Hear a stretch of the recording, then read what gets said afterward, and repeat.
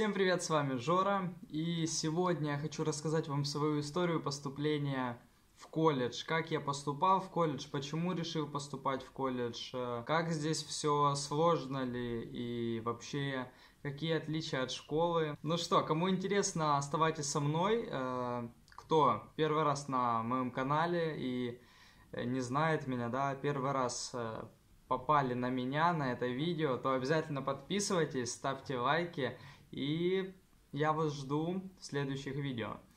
Поехали! Начну свое повествование о том, что я закончил 9 классов школы. Был я круглым троечником до 8 класса, то есть в 8 классе у меня было, знаете, сколько троек? 8. 8 троек у меня было в 8 классе, а переходя в 9, когда я перешел в 9, э, я подумал, что хватит, я не хочу быть троечником. И э, по окончанию девятого класса для меня это был просто прорыв, для моей мамы был прорыв, и окончил я девятый класс с одной тройкой по физике. Физичка one love. Повторюсь, я ушел с девятого класса в колледж и поступил на рекламу, то есть я специалист по рекламе. Закончил первый курс почти. Прошел я программу 10-11 класса всего лишь за один год, то есть Почему я не пошел в 11 класс, до 11? Потому что, первое, я считаю, что это нерациональная трата времени, два года в школе просто проси, просиживать штаны, а во-вторых, меня пугает ЕГЭ. Я не хотел сдавать ЕГЭ, и я этого добился. ЕГЭ я не сдавал, а когда я поступал в колледж, у меня были вступительные экзамены. Я специалист по рекламе, поэтому у меня был вступительный экзамен, нужно было написать рекламный текст. Было три темы. Первое это правила дорожного движения, второе это Краснодарский край, в котором я и проживаю, и третья тема уже не помню какая, но в общем неинтересная. Так как я живу в Краснодаре, я выбрал тему Краснодарский край.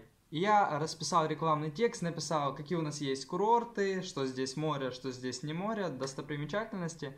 В общем, да. На этом вступительном экзамене, наверное, было человек 50, и прошло 28. 28 человек из 50 прошло, и я один из них. Какие у меня вообще были ощущения, когда я поступил в колледж? А, первые дни вот такое вот. Где я? Хотя, в принципе, у нас аудитории не классы называется, да, а аудитория. Ничем не отличаются от школьных, то есть также стоят парты, также стоят стулья, два стула, одна парта. Поэтому привыкал я, в принципе, не так уж и долго, потому что школьная обстановка еще была, да, парты и стулья. Одно занятие в колледже идет э, полтора часа, час 30 минут. Да, школьникам покажется, что, блин, один час 30 минут, что я буду делать, э, как сидеть в колледже один час 30 минут. Но на самом деле проходит месяц, и ты уже привыкаешь к этому графику и посещаешь полтора часа и нормально. Я сейчас, например, не понимаю, как можно за урок, за 45 минут что-то успеть. У меня пара длится полтора часа, мы не успеваем, бывает, да, э, что-то прочитать, пройти материал, например, по математике. Просто полтора часа на математику это, ну, мало, конкретно мало. Поэтому за 45 минут, ну, алло. Дальше. У меня шестидневка, три пары каждый день. Есть даже когда четыре пары. Бедные школьники, сейчас глаза, наверное, такие четыре пары. Офигеть, Жора, как ты учишься? Но я привык. В колледже время измеряется в семестрах. То есть в школе это первая, вторая, третья четверть, четвертая, а в колледже это первый семестр, второй. Первый, первый семестр, второй семестр. Я гуманитарий просто, извините меня. После каждой четверти в школе выставляются оценки. Соответственно, у меня в колледже тоже после первого семестра выставляются оценки, и после второго выставляются оценки. Но это называется не оценки, а зачеты. Зачет бывает двух типов. Первый это дифференцированный, и второй это обычный зачет. Поясняю. Дифференцированный зачет это когда ты сдаешь э, зачет, то есть как э, экзамен сдаешь, такой маленький экзамен сдаешь, и преподаватель ставит тебе зачет и рядом оценочку.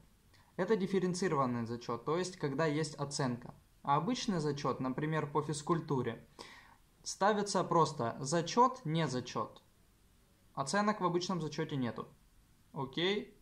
Окей. Колледже все довольно-таки классно распределено. Оценки, как вообще выставляют оценки, мне нравится. Если ты ходишь на пары, посещаешь, у тебя нету энок, тройка тебе вообще с легкостью и 4 тебе натянут, как бы будет у тебя 4, если ты ходишь. Просто тупо посещаешь, не учишь, просто ходишь, у тебя будет 4. Если ты не ходишь, не посещаешь, не сдаешь ничего. У меня есть в группе такие чувачки, которые даже никогда не появляются. Или появляются один раз э, за семестр. Вот. Им уже сложновато, конечно, сдавать сессию, но они как-то сдают.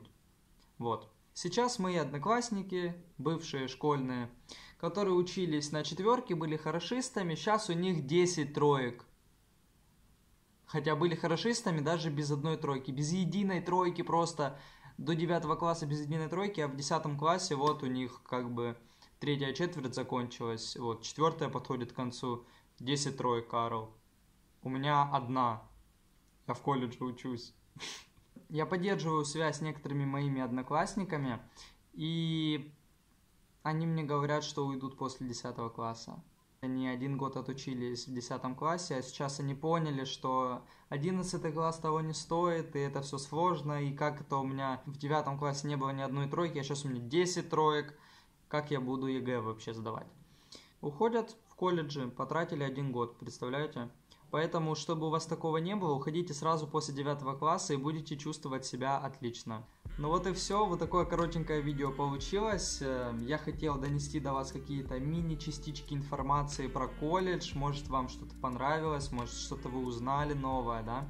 Э, и если вам было интересно, дайте мне это знать в комментарии, напишите, что Жора интересно, задайте вопросы свои, да, что вас про колледж интересует, про э, мою жизнь колледжскую, может вас что-то заинтересовало. Можете задать вопросы в комментариях и, может быть, я дам вам ответ в видеоформате, то есть сниму новый видосик на эту тему. Так что вот, чтобы жизнь была веселой, поступай после 9 класса в колледж. А, все. Надеюсь, тебе было интересно смотреть это видео. А, если это так, ставь лайк. Опять же, пиши в комментарии, будем общаться. И все. Увидимся в следующем видео. Пока!